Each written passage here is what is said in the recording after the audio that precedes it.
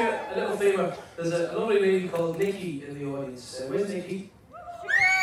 Well, I'm wondering if Nikki would come down. I want to bring you on stage, Nikki. Maybe